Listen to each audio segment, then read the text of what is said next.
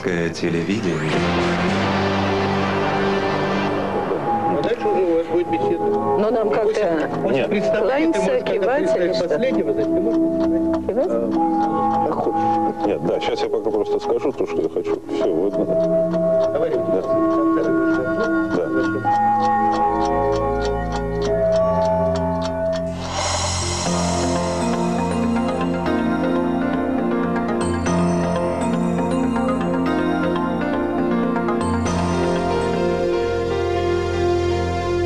Дорогие друзья и коллеги.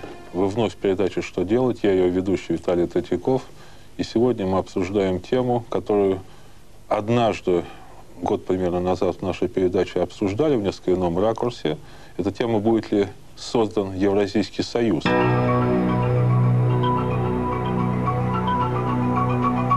Год назад мы говорили о евразийстве как идее. Сегодня тоже, наверное, ее коснемся. Э, Но мне хотелось бы э, сегодня больше сосре- сосредоточиться на конкретном политическом проекте Евразийского союза. Некоторые его, правда, называют евроазиатским. Прежде всего потому, что среди сегодняшних моих гостей есть э, автор этого проекта, президент Казахстана Нурсултан Назарбаев. Здесь все специалисты в этой области, они помнят этот проект 1994 года. Тогда его Россия отвергла. Э, Я бы сказал, проигнорировала скорее так, ну, что фактически отвергла. Э, И у меня вопрос э, ко всем для короткого ответа. Почему, как вам кажется, этот проект был отвергнут Россией тогда, Чингис Таликулович? Мне кажется, произошло это из-за того, что мы сами все вместе взятые, и прежде всего сама Россия и общество, были еще не готовы к восприятию, к осознанию, к осмыслению э, вот этой идеи, этого, этой концепции Евросоюза. Но вот время идет, и чем дальше, тем больше нарастает убеждение, что это один из главнейших э, направлений нашего совместного бытия в будущем. Это вот мое пока что Короче, да. короткое. Евгений Степанович. Мне кажется, важно вспомнить э, историческую обстановку десятилетней давности. Э, Да, Только почти что да. э, заключены Беловежские соглашения, Советский Союз распался, и в России существовала своеобразная эйфория независимости, эйфория избавления от пут Советского Союза, тоталитарного прошлого, и любой возврат к этому прошлому в форме какого-то союза, естественно, отвергался находящимися у власти демократами. Поэтому каких-то интеграционных механизмов в России, интеграционных настроений в то время не было. И сама идея евразийства, на мой взгляд, находилась э, где-то на задворках. Лишь позже, с, развитием национального самосознания, с развитием э, интеграционного мышления, эти проекты стали получать э, больше обоснования и большую популярность в российской элите. Я думаю, что тогда правящая элита в Кремле все-таки идентифицировала себя преимущественно как атлантисты. Это не всегда откровенно демонстрировалось, но в принципе говорилось так, что официальная Россия, новая Россия устремляется на Запад, тем самым отрывается от Азии, значит и от Евразии. И вот с этой точки зрения, естественно, спешили туда, в Европейский дом и подальше от азиатского.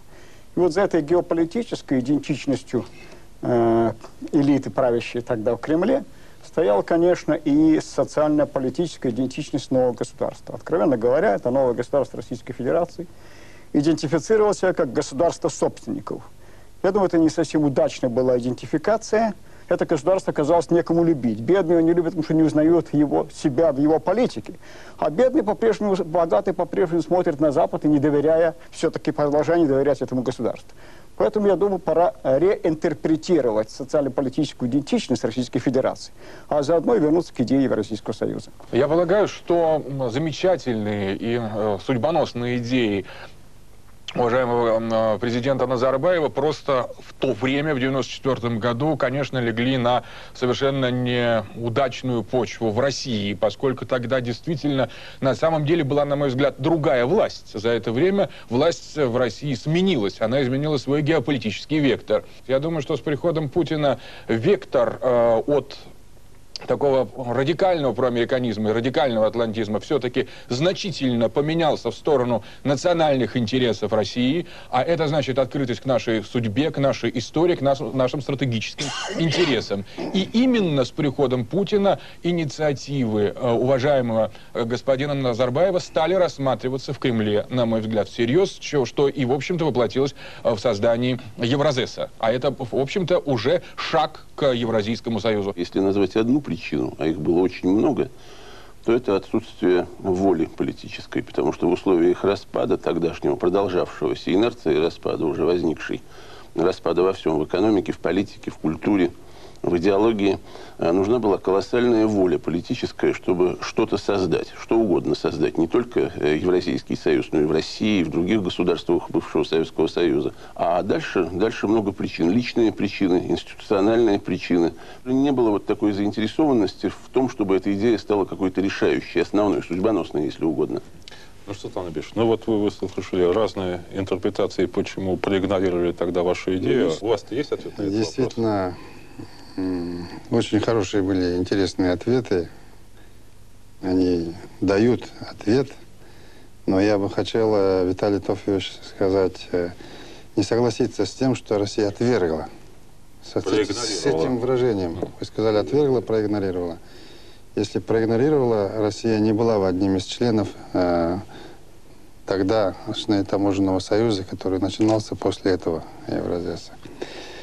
Я хочу чуть-чуть вернуть вас к 93 году, когда я вовсю бился с руководством России, чтобы не выталкивали республики из единой рублевой зоны. Сегодня, выступая на экономическом форуме в Разе, сказал о том, что к 2011 году мы должны прийти к единой валюте, если мы хотим сотрудничать по-нормальному. Вот это будет дело. Вот, э, а в 93 году три заявления моей с Ельциным, что Казахстан останется в рублевой зоне, с Черномырдиным. Однажды в августе приезжает э, Александр Шохин, говорит, Нурстанович, зачем тебе в этой вот э, болтающейся, неизвестно куда катящейся России находиться в одном вагоне. Я говорю, подожди, слушай, ты в каком правительстве работаешь вообще заместителем премьер-министра? И тогда, э, в 93 году, в ноябре, вместе с Узбекистаном, договорившись, мы ввели э, впервые национальную валюту. Это была большая трагедия. Разорвалась экономика, мы все стали осколками единой экономики. Тогда я, естественно, посоветовавшись с президентом России, потому что без России это не могло быть, принес в начале 94 -го года этот модельный проект, который назывался Евразийский союз. Ну, фактически это был план создания конфедерации. Фактически это было э, очень быстрое создание Европейского, Западноевропейского союза, я хотел бы сказать. Ну, по Учитывая, западноевропейской модели, да. 50 лет, а у нас была общая история, общая территория, общая экономика, общий язык, общие деньги. Мы могли бы прийти, если бы у нас была воля. Но э, тогда многие просто не хотели более жесткой нормальной интеграции. Каждому, и Украине, и Белоруссии, Центральноазиатском, думалось, что вот сейчас мы освободимся – у каждого из нас столько ресурсов, столько богатств в стране. Завтра будем процветать, и все наши народы будут жить припеваючи. Наверное, вы правы в том плане, что нужно было время дать каждому государству, во-первых, стать по-настоящему независимым, во-вторых, укрепить свою экономику и говорить с позиции нормального государства, которое вообще есть. Вот я считаю, в этом была, э, был принцип, почему не развивалась, и мне, я не склонен обвинять кого-либо в этом вообще. Э, процесс интеграционный, особенно большое сближение, требует большого времени. Я рад, что все эти 9 лет э, евразийское сотрудничество не сходило со страниц газет из уст политиков, которые говорили, оно привлекательно. Например, мне задавали этот вопрос Болгария, что это такое. Мне задавали монголы, что это такое, как мы можем туда вступить. И э, Месяч в прошлом году, хорватский президент. То есть э, проявляли большой интерес. Все дело было в том, чтобы нам в этом таможенном союзе, а в 2000 году Международная организация Евразес показать вступление туда выгодно вам. Нам этого не удалось и сейчас пока не удается достигнуть. Хотя Евразис сегодня самое продвинутое интеграционное объединение в рамках постсоветского пространства, где 65% тарифов согласованы. Теперь давайте обсудим э, все-таки эту политическую конструкцию. Я вижу это как политический, э, вполне конкретный проект, который соприкасается терминологически э, с довольно э, старой уже идеей, идеей евразийства, в течение 20 века, там, начиная с 20-х годов, по крайней мере, э, активно развивалась и какое-то новое дыхание получило в, пос- в последние годы. Как каждый из вас представляет э, эту конструкцию Евро- э, Евразийского м, союза, конфедерация это или восстановление, или это в какой-то форме прежнего Советского Союза, э, и как это со- соотносится с евразийской идеей? Я поддерживаю высказанную мысль вот э, Нурсултана Абишевича, что есть модель, которую мы могли бы, так сказать, взять себе, ну, как схему хотя бы. Это европейская, да, Европейский Союз, поскольку я там вот, ну, пребываю уже не первый год, э, вижу, собственно, так сказать, все это в натуре, на практике. Мне думается, что европейская модель – это достижение истории человечества. Хотите, соглашайтесь, это наивысшее достижение. Вот так бы всем скомпоноваться, вот так бы всем взаимодействовать, вот так бы всем, значит, понимать, взаимопонимать, как сейчас это в Европейском Союзе, в Европе, это было бы замечательно. Но к этому надо быть готовым. Может быть, вот это десятилетие, которое наши страны прошли, вот, а, оно уже дает определенные, так сказать, основу, почву для того, чтобы об этом, ну, говорить вслух. Поэтому, да. все-таки вы какой-то очень большой оптимист, по-моему. Я хочу заострить наш разговор, э, передать слово другим участникам, а до того процитировать Петра Савицкого, это 20-е годы 19, 20 века, один из классиков э, как раз евразийской э, идеологии, э, и он, и другие, в частности, прямо пишут вот, э, в его э, работе «Основы евразийства». Россия и Евразия есть центр Старого Света. Старый Свет понимался как э, вот весь евразийский э, материк. Устранить этот центр и все остальные его части, вся система материковых окраин, Европа, собственно, Европа, Передняя Азия, Иран, Индия, Индокитай, Китай, Япония превращается как бы в рассыпанную э, храмину. Это, этот мир, лежащий к востоку от границ Европы и к северу от классической Азии, есть то звено, которое спаивает и в единство их все. То есть все-таки предполагается, э, одних это смущает, других привлекает, что центром этого Евразийского союза, как э, государственного, межгосударственного образования, будет Россия. Отсюда появляется автоматический образ старого Советского Союза, и одних это пугает, други- других нет. Все-таки в Европейском Союзе нет одной доминирующей страны. Э, Лично для меня это не является э, там, отталкивающим фактором. А как для вас? Вот эта идея центральности Евро... э, России в этом... Э, да. Во-первых, некорректно э, говорить о первых евразийцах 19-20 века, которые интеллектуалы России, ученые, люди, историки, эмигрировали туда, на Запад, до гражданской войны, мечтали о возвращении, рассуждали о судьбах России. Это совсем другое дело. Если мы говорим о моем проекте Евро- Евразис, это совсем другое дело. Нет, Там- же не Евразес проект, а Евразийский союз, Евразийский без союз, слова экономический. Без Евразийского. Я хорошо изучил Вернадского, Трубецкого, Савицкого. Я знаю, о чем они говорили. Это был другой контекст, другая, эпоха, другая боль сердца образованных русских людей, которые после Октябрьской революции э, желали как-то обустроить эту Россию. Во-первых, отвечаю на ваш вопрос. Э, ни о каком Советском Союзе серьезно рассуждать нельзя. Это просто несерьезно. Не надо говорить об этом. Во-первых, в таком виде, который был Советский Союз, не может быть воссоздан сейчас никаким образом. Во-вторых, мы должны э, сейчас говорить близко, конечно, к Европейскому Союзу, но тоже не Европейский Союз. У нас другой менталитет здесь живущих людей. Во-первых, мы не католики, не протестанты, которые проповедуют и да не моления Богу, и, значит, и ни братом, ни сватом ничего не поделюсь. Мы э, коллективный народ вообще, тем более казахи вот а в Азии, да и вообще россияне. Почему русские, которые же прожили э, два поколения в Казахстане, не могут ужиться даже в европейской части России? Потому что у него другой менталитет, отношение выработалось, это нормально. Поэтому мы более человечно можем подойти к этому вопросу.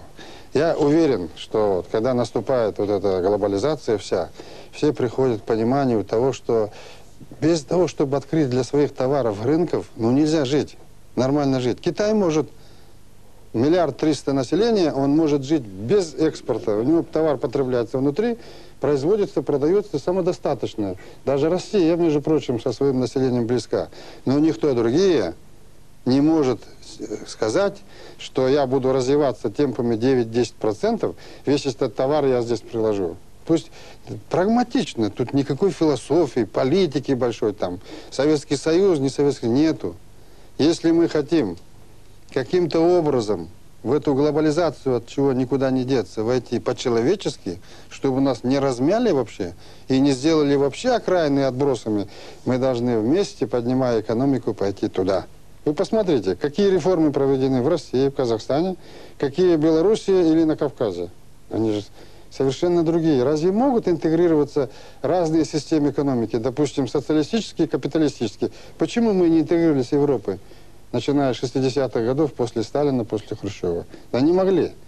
Точно так же, если в одной соседней республике совершенно неинформированная экономика, государственная, не конвертируется валюта, наш бизнесмен приходит, продает товар, получает его валюту, не хочет поменять, не может поменять на доллар или на свою, и он прекращает с ним всякие торговлю, вообще взаимоотношения. То есть, по-настоящему интеграция состоится тогда, когда лидеры элиты осознают, что это необходимо, и договоримся честно перед парламентом и народом, скажем, давайте идентифицируем законы, тарифную политику, налоговую систему, пенсионное обеспечение, какой-то паритет.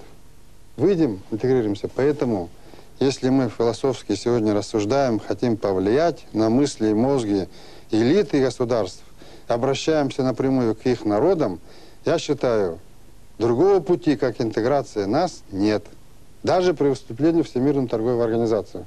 Я прошу Россию, чтобы мы Евразесом хотя пять государств вместе вошли. Вот Киргизия вошла в ВТО, ну что из этого? Это она создала проблему среди нас, пусть на меня не обижаются. Во-первых, ему надо проезжать э, в Европу через Казахстан, Россию, а мы не вошли туда. Мы не можем принять его таможенные тарифы.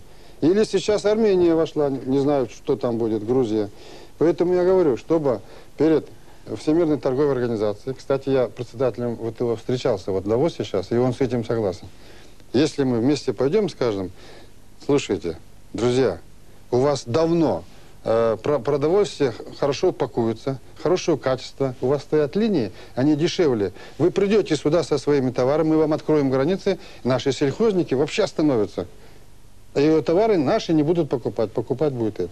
Так и по машинам, так по легкой промышленности. То есть здравый смысл, логика жизни, развития экономик и процветания стран говорит о том, что мы должны не Советский Союз создать, а нормальное общее экономическое пространство, где будут общие тарифы, общие железнодорожные тарифы, общие налоги, общие правила главные условия создания Евразийского союза, как он видит, в частности, вот, ну, Султана Абишевича, это, конечно, воля. Мы видим, что...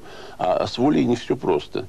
Мы видим, что вроде бы есть воля в объединении России и Белоруссии, например, но почему-то оказывается, что это марш на месте. А, ну вот, чтобы воля реализовалась, почему, собственно, воля, даже если она есть, не осуществляется? Нужны два условия. Первое – это соображение выгоды, это и есть экономика, собственно говоря, и соображение смысла, если можно так выразиться. Вот То есть, смысл-то в чем, да.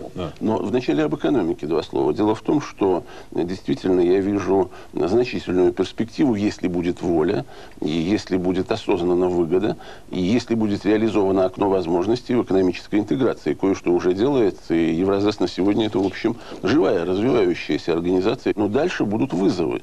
Э, АЗЭС, или как его там назвать, Азиатский союз. Да, это возможно. Что касается европейских составляющих, в частности, между прочим, и Белоруссии. Сейчас есть определенные проблемы политические, но все больше и больше Европейский союз и для Белоруссии, и для наблюдателей Украины, Молдавии будет э, вот таким вот вызовом своего рода и соблазном. Вот, а вот смысл. То есть остается составляющая смысла. Нужна некая философия. Да, понятно, для евразийцев начала века я абсолютно абсолютно согласен с Нурсултаном Абишевичем. Это другой был контекст. Эти люди, в общем, исходили из э, плохо, хорошо ли, но сохраненной целостности. И они хотели ее осмыслить. подвести какую-то философскую, идеологическую базу вот под это сохраняющее, сохраняющееся, как им казалось, насильственное единство. В общем, ну, философия и осталась философией. Это не стало политической идеологией. Никогда. Это оказался мертворожденный, очень красивый э, философский, литературный на самом деле проект. Что сейчас мы можем э, сделать? Какую вот такую философию? Я надеюсь, вы отреагируете на эти обидные для вас слова. Нет, это не обидные слова. это не обидные слова. Исторически так оно и было. Да, исторически так. Сейчас действительно, действительно сохраняется и здесь окно возможностей. Но что остается? Остается, в общем, на самом деле, в значительной степени единая культура. Культура, основанная на русском языке, конечно же. И пока язык остается, вот это окно возможностей сохраняется. Если это будет исчезать, и это окно будет закрываться. То есть возможность создания Европейского, Евразийского союза – это не, э, не какая-то вещь на все времена. Это то, что надо делать в определенные сроки, определенным образом. И, а для этого еще очень, очень много надо осмыслить самим в себе. Да, Я да, полагаю, что э, на самом деле э, всякое объединение, оно исторически обусловлено и имеет идеологию, соответствующую той эпохе, в которой происходит. Я полагаю, что Евразийский союз – это вполне реалистичная, современная, актуальная концепция, которая основывается на принципе демократического объединения суверенных государств, некий тип конфе- э, конфедерации, причем с преобладанием, как уважаемый господин Назарбаев совершенно верно подчеркнул, я бы сказал, социально-экономических интересов. Чисто прагматически. Прагматически в том числе. Я бы обратил внимание на а, вот идею Исмаила Гаспринского, очень из- э, теоретика тюркского, э, тюркского возрождения начала века, который говорил об общности судьбы. Он говорит, что объединяет тюрок и славян в а, не только империи, не только государственность, общность судьбы. То есть некий цивилизационный, геополитический, культурный, куда входит и язык, и масса других. э, Вот эта общность судьбы, историческая общность судьбы, это цивилизационная подоплека. Дальше эта цивилизационная подоплека может остаться в туне, если не будет конкретных, прагматических, грубых интересов каждого участника этого союза. И они сейчас как раз на лицо. Мне кажется, мы должны предложить э, евразийство как проект некой региональной глобализации, как подготов, подготовительные ступени, промежуточные ступени для, э, скажем, открытости к востоку и к западу. И здесь, мне кажется, неверно противопоставлять евразийскую интеграцию европейской интеграции. На мой взгляд, это просто два направления очень сходного, близкого процесса, направленных к единой цели. А э, Европе совершенно не потянуть никакую Украину, я уже не говорю про Белоруссию. В нашем же Евро- Евро- э, Евразийском союзе, социально-экономическом образовании, а, этот э, такой как бы атипичный, асимметричный придаток белорусской экономики очень нужен. Он очень может быть прекрасно туда интегрирован. Я полагаю, что это исключительный момент. И в данном случае идеи Назарбаева мне представляются просто ну, сверхактуальными. И э, чем более будет здравая политика в России и в других странах СНГ, тем, мне кажется, будет быстрее, скоростным образом создаваться Евразес. И слава богу, что признаки этого есть. Я считаю, что мы не должны отгораживаться от цивилизованного мира. Наш путь куда? Там, где есть деньги, там, где есть технологии, там есть будущее, то есть Запад. Правильно? Ни в коем случае мы не ставим этот вопрос, и нельзя так ставить вопрос. Если, допустим, европейская часть э, СНГ, Украина, Беларусь желает вступить туда, как вы сказали, им будет интересен, да, будет интересен, абсолютно вы правы. Они в очереди будут стоять очень долго, и мы знаем почему. Так вот, если мы по-настоящему создадим Евразийский союз, мы все будем привлекательны для Европейского союза. То есть мы на более, так сказать, солидной основе пошли бы туда, в этот цивилизованный, развивающийся современную Европу. Распад Советского Союза высветил, на мой взгляд, очень простую истину. Те государства, которые образовались на развалинах Советской империи, очень различны. Они очень разные по своему политическому строю, политическому устройству, по своей исторической и культурной традиции, по степени политической свободы, экономической свободы. И эти различия, на мой взгляд, они гораздо существеннее, гораздо серьезнее, чем различия между странами, входящими или претендующими сейчас на членство в Европейский Союз. И Вы имеете в виду не только различия, например, между Россией и Туркменистаном, но и между Россией и например, Да, Казахстаном? безусловно, и между Россией и Украиной, между Россией между Россией и и? Белоруссией, безусловно, мы видим и в политическом, и в экономическом плане очень просто серьезное уточнил, да, да. И важным моментом является то, что и национальные элиты, которые пришли к власти э, в этих новых государствах, они э, во многом э, разнородные, имеют разновекторную направленность. Часть этих элит ориентируется на Запад, часть на Восток. И э, во многих э, государствах, как мне представляется, есть и альтернативы Евразийскому Союзу. Ориентация на пантюркизм, скажем, как возможную схему э, экономического и политического интегрирования. Это э, налаживание связи с Европейским Союзом напрямую. Это интеграция с НАТО, что мы видим, скажем, на примере э, Грузии. Это более тесные связи с Китаем, что тоже э, может восприниматься как одна из парадигм возможного... Три, три вектора. Европа, самостоятельно в Европу, пантюркизм, либо с Китаем. Три. Ну, Ну, три основных НАТО будем это говорить. то же самое Я Исламский мир. Да, я не да. уверен, что евразийская идея наиболее э, будет э, популярной среди всех этих направлений, учитывая известную слабость России как цементирующего фактора, э, поскольку, как мне видится, именно в сторону России, наиболее мощного государства, наиболее сильного в экономическом отношении по своим ресурсам, именно в сторону России обращены взгляды тех, кто выступает за Евразийский союз. На мой взгляд, э, ну, растущие сейчас новые элиты, которые далеко не так однозначно ориентированы в сторону России, а это скорее, может быть, ориентация, э, идущая и свойственная прошлому поколению. И, на мой взгляд, эти новые элиты будут не столь однозначны в своем отношении к идее Евразийского союза.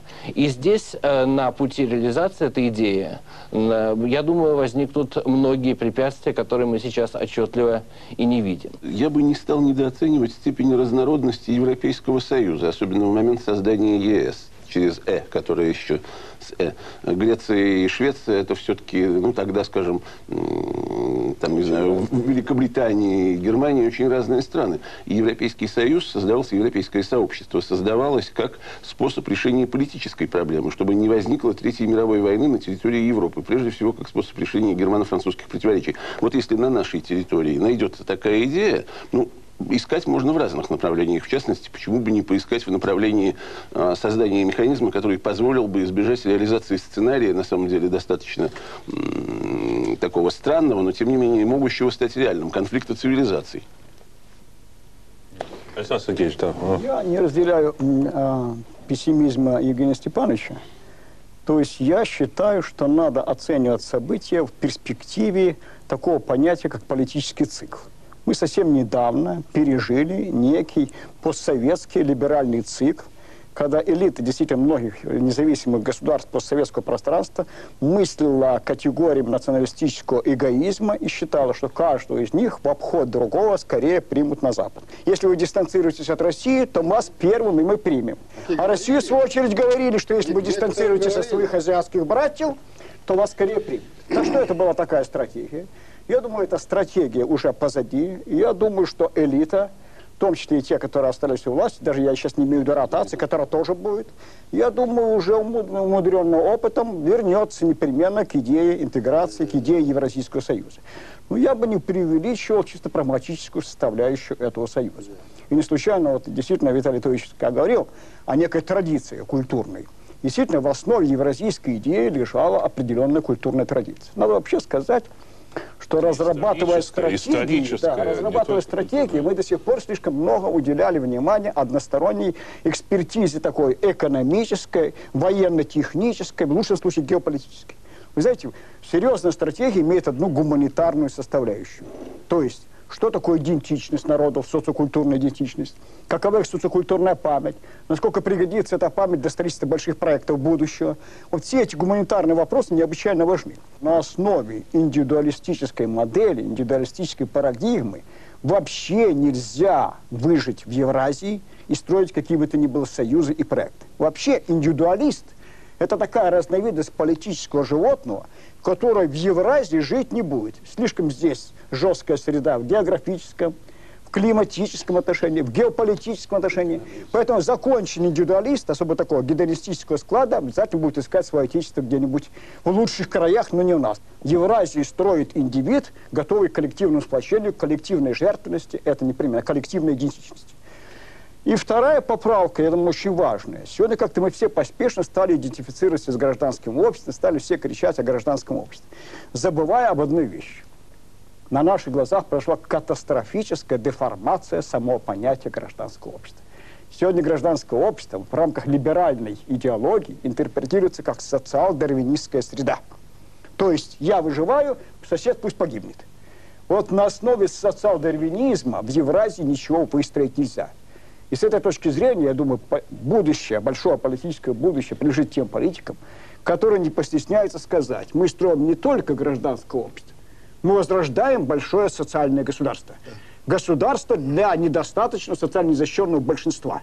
Вот я думаю, когда мы говорим о Евразии, об интеграционных процессах в Евразии, очень важно взять на вооружение не только единое экономическое пространство, и вообще экономическую идею как таковую, экономическую целесообразность, а непременно взять на вооружение большую социальную идею. Большая социальная идея – это тоже идея интеграционная. Социальная идея – это вот, вот большой сейчас стали немножко- интеграционный мне потенциал. я хочу Да, да. поспорить с Евгением Степановичем, уважаемым.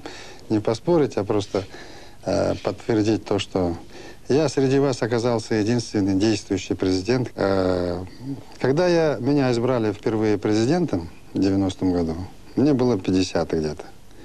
А не было кадров, знающих, как рынок вести, что делать со свободой этой, которая пришла. Ну, нет опыта, нас ведь не учили. Я набрал 30-летних парней и девушек с, с образованием МГУ, кто-то стажировался. Вот эти все ребята теперь э, со мной работают, и им по 40 лет. Я вам хочу сказать, именно они, они новая элита, хотят этой интеграции больше. Я чувствую, они среди своих сверстников в России находят самых горячих э, поклонников. Вы абсолютно правы, Александр Сергеевич. Не будет наоборот. А когда осознанием, когда мы, которые, значит, побыли там, теперь были здесь, у нас что-то там держит, мы оттуда пришли из того общества, это, с одной стороны, хорошо. Мы знаем, откуда мы вышли, мы знаем примерно, куда мы идем, мы знаем, куда мы не хотим идти. Вот, вот это мое преимущество моего поколения. А молодежь именно этого хочет. Вторая практическая добавка моя заключается в том, что все же начало нашей тяжелой жизни наших людей должна быть экономика, чтобы интеграция начала ощущать простой человек. Надо показать простым людям, да, чтобы заработали, торговля прошла нормально. Вагон с грузом выходит из Казахстана, угля, заходит границу России, тариф становится в полтора раза выше. Сразу. Трубопроводная система, как только переходит границу России, становится в три раза дороже тарифы. То есть продовольственной пшеницы, которую нету э, сегодня в Беларуси, у них э, э, фуражная, но нам нужно, а продовольствие мы им даем, за это мы получаем трактора, он становится совершенно невыгодным, абсолютно. За 10 долларов продаешь, за 4 доллара туда при, привезешь, будет 14 стоимость. То есть, понимаете, здесь вопрос такой. Могут сказать, ага, опять Россию обвиняют, что он там не делает. И это с российской стороны резонно ставится вопрос, что Россия при этом потеряет. Точно потеряет. При объединении э, Западной Европы потеряла, Германия потеряла. И очень сильно потеряла. Но потерял, потом приобрела столица и все это дело за счет общего пространства и объема торговли. Россия ставит очень резонный вопрос, я поддерживаю. Хорошо, на сегодняшние одновременные издержки Россия идет. А что потом, значит, сменится там, э, придет другой президент, завтра каждый будет соскакивать с этой общей телеги. Давайте, если мы друг другу не доверяем, создадим единую наднациональную комиссию по тарифам и торговле, не подчиненную ни одному из государств. Я предлагаю, например. Пусть его центр будет где-нибудь не в Москве, где угодно. Это наднационально мы даем порядок, а- расписываем его положение, его работу, потом этот документ ратифицируем в парламентах и сделаем законом, чтобы никакой следующий президент и правительство не могло сменить. Тогда Россия на это пойдет. Я считаю, что геополитически, на перспективу, стратегически России это необходимо. И Россия должна пойти на эти издержки ради большого будущего, будущей интеграции, ради всех нас. И тогда и народы будут благодарны во веки вечные, и мы будем вместе процветать, и безопасность наша будет крепче. Ну, а как нам быть с теми государствами, которые логично входят в евразийское пространство, но пока, скажем, э, в Евразес э, не э, входят Узбекистан, Туркменистан, Украина, Беларусь, это ведь тоже часть так Евразии в нашем широ- да, э, Да. понимании. Как-то э, какие-то А, идеи есть у вас, есть. Вот- как их интегрировать, подтянуть, и реально ли это на сегодняшний день в обозримую перспективу? Э, Сразу хочу сказать, могут меня потом критиковать. Я думаю, что сменится поколение, и к этому обязательно придут. Я уверен.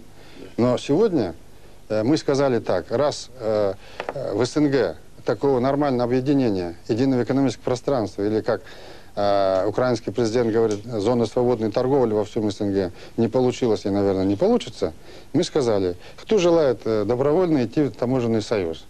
Когда Евразес отвергли как таковой, я же предложил таможенный союз, а таможенный союз должен иметь общую границу.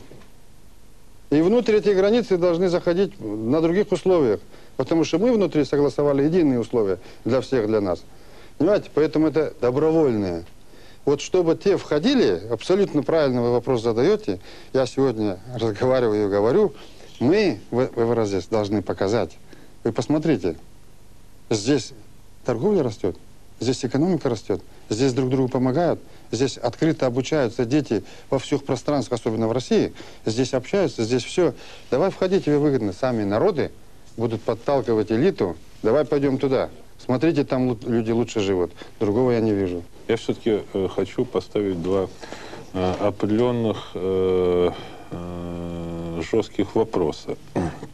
Меня смущало, как я говорил, некое единомыслие, которое здесь царило. А, но второе, что меня смущало... Обязательно надо ругаться всем. Ну да, не, ругаться. Второе, что меня смущало, э, вот Александр Сергеевич отчасти это здесь меня поддержал, э, да и Алексей Михайлович, когда он говорил о смысле э, вот этого Евразийского союза.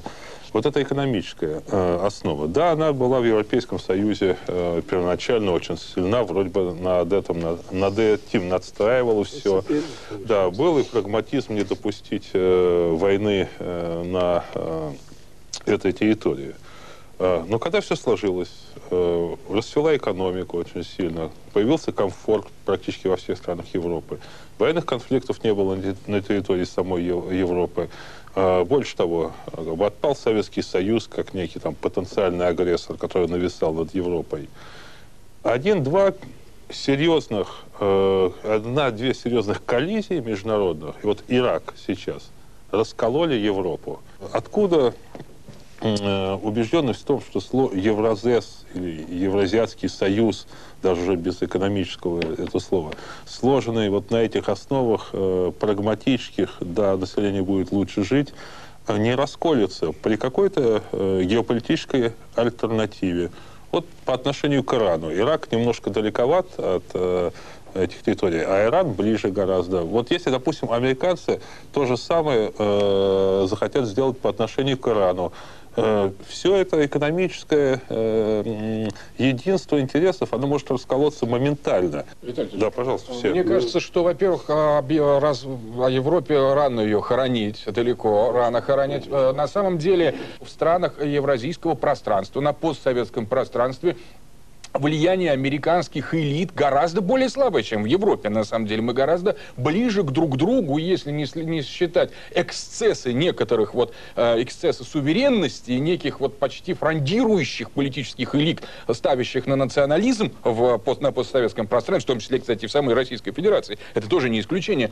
Гораздо э, меньше влияния, собственно говоря, США. Более того, мне кажется, важнейшим залогом э, прочности такого объединения это э, тот факт, что Евразийский Союз решает все этнические проблемы, в том числе проблемы русских в Казахстане, э, или, скажем, казахов в России, или представителей азербайджанцев в России. Махом, одним ходом, одним жестом, без всяких депортаций, без всяких межэтнических трений, без всяких столкновений и конфликтов мы решаем сложнейшие проблемы а, наличия миллионов наших соотечественников, разных, всех, которые оказались рассеянными в состоянии диаспор и по большому счету страдают от этой национально-государственной модели, в которой они оказались, в том числе от российской. Поэтому, мне кажется, столько много плюсов, столько так много а, фундаментальных аргументов в пользу Евразийского союза, столько проблем решается одновременно путем достаточно естественного, логичного, демократического шага, что, мне кажется, вбить клин в этот, э, ну, очень будет сложно.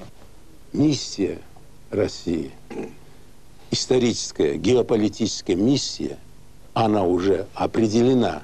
И как бы мы ни спорили, кто бы как бы ни, ни, ни, пытался это так или иначе взвесить, Россия является центрообразующим фактором на данном этапе истории всех нашей общей судьбы. Вот, вот вы выразились, сказали, что э, э, о факторе русского языка, он сюда входит.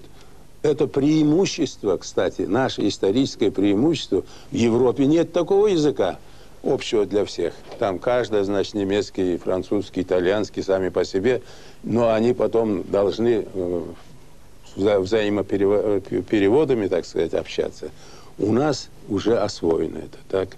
Не будем терять этот дар истории. Евразиатский союз – это тот корабль, на палубе которого мы все должны расположиться.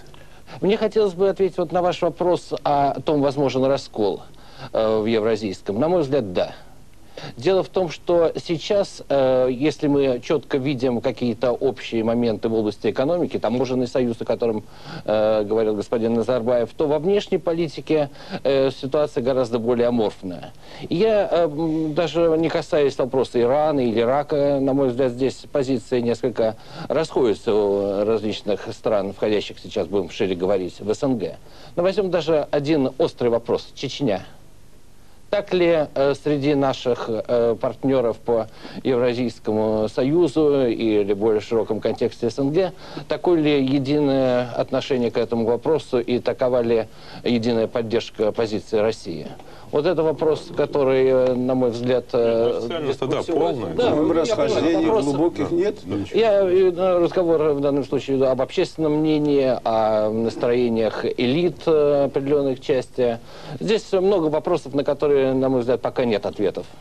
Поэтому, наверное, Европе сейчас ставит вопрос о, даже о президенте Объединенной Европы о правительстве Объединенной Европы. Я задаю последний вопрос тоже для короткого ответа каждого, чтобы подвести э, не столько итоги, сколько чтобы каждый акцентировал какую-то свою позицию. Но перед этим хочу сказать э, несколько слов. Все-таки мне кажется, ну, Султан Абешевич, извините, ну, мы с вами давно знакомы, вы мне простите, все-таки вы как президент давите э, не физически, а несколько ментально э, э, на всех здесь. Вот э, э, дело в том, что э, можно скрывать свои позиции от кого угодно, но от самих себя. Но это рано или поздно заметят другие и непременно заметят.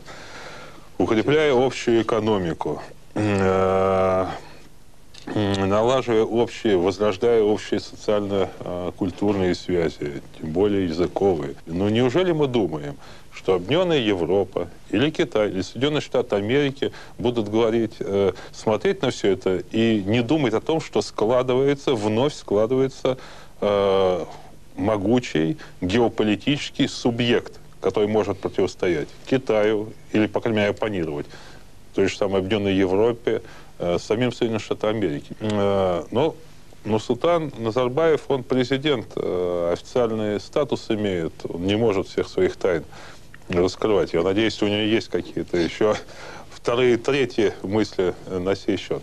Мой финальный вопрос. Ну, да, хитрый азиат, как обычно. Да. Мой финальный вопрос. Ну, я принимаю вот логику, которую здесь в основном все руководствовались. Допустим, э, нечто созрело, некий смысл более э, явно мерцающий или несколько скрытый все равно существует в этом. Э, и вот это единство автоматически возрождается. При всех разногласиях внутри действительно Европейского Союза все-таки как единый геополитический субъект он уже действует во многом, начинает действовать. И не за горами действительно единая конституция, реально единый парламент, возможно, даже европейское правительство и, и может быть, даже э, президент. Э, мы с, другой точки старта начинали, э, э, ну, развиваемся, интегрируемся в несколько более короткие сроки, так получается. Э, Когда, на ваш взгляд, э, вот если будет складываться по этой модели, э, когда Евразиатский союз станет чем-то реально напоминающим вот хотя бы нынешний Европейский союз, как консолидированная структура. Через год, через три, через пять, через 25, через 125. Ну, я думаю, к десятому году уже можно будет. Ну, то есть это довольно быстро. Но мне хотелось бы еще быстрее. Но Евгений Степанович. Я думаю, Так, что единый если- президент, там если- парламент. Если судить по темпам интеграции в рамках европейского сообщества, то я думаю, этот процесс очень длительный. И при самом благоприятном раскладе это, видимо, растянется на целое поколение, лет 35-40, может быть, 50. И потом э, я вспоминаю исторический разговор Ивана Петровича Павлова с Николаем Ивановичем Бухариным. Вы знаете, Бухарин пытался Павлова убедить, э, как будет хорошо э, при коммунизме, и Павлов вроде бы уже согласился, потом перебежал на другую сторону дороги и крикнул, а вдруг все будет наоборот. Вот э, мы сегодня нарисовали идеальную модель евразийства, но мы пока не можем предугадать, э, какова будет реальная ситуация экономическая, политическая на этом пространстве, какие неожиданности мы можем встретить Через вовне. 35 лет, то, наверное, будет уже что-то иное, если не успеем. Да, Я думаю, что речь идет о, конечно, поколенческой смене элит. То есть э, те элиты, как- нынешняя да, элита то есть я ушла. думаю, да, я думаю, это лет 20 все-таки потребуется, вот, в среднем. Для чего? Для того, чтобы ушли те элиты, которые слишком однозначно связались с атлантизмом, с проамериканской политикой Евразии. А во-вторых, должна смениться опять доминант. Вы знаете, 50 лет в Европе, вообще в мире доминировала левая идея. Со времен для нового курса Рузвельта и до неоконсервативной волны в США, в Европе. Около 50 лет. Сейчас доминирует правая идея. Правая идея для Евразии идея не объединительная, а разъединительная. И вот на волне, на гребне левой фазы мирового, мирового цикла поднимутся совершенно новые политики Евразии. Носители социальной идеи, носители социального государства и носители социальной интеграции. Я полагаю, что э, процесс объединения и создания Евразийского союза – это то, что мы увидим э, при нашей жизни, при нашем поколении. А Я полагаю, что какие-то процессы политические вообще на территории э, Евразии, на территории России, СНГ проходят очень быстро, уже э, набирая какой-то совершенно невероятный ритм. Очень много зависит одновременно и от личности. Сейчас, мне кажется, у нас удачная фаза. В России президент э, патриот, э, который действительно болеет и переживает за судьбы государства и народа. Э, Слава богу, в Казахстане тоже президент евразиец и э, еще, как бы сказать, э, скажем, изначальный основоположник этой тенденции. Это уже немало. Учитывая благоприятную евразийскую конъюнктуру, сложившуюся сегодня на постсоветском пространстве, это может пройти в течение действительно десятка лет, как уважаемый Чингис Айтматов сказал. И, кстати, я хотел бы обратить внимание, э, как легко определить, что такое евразийство. Вот кто а, такой Чингис Айтматов?